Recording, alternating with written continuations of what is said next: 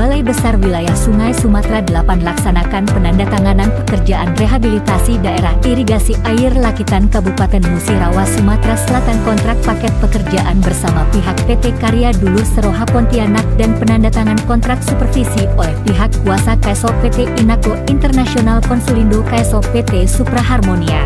Konsultindo Jakarta terkait pekerjaan rehabilitasi B, I Air Lakitan Kabupaten Musirawa, Sumatera Selatan.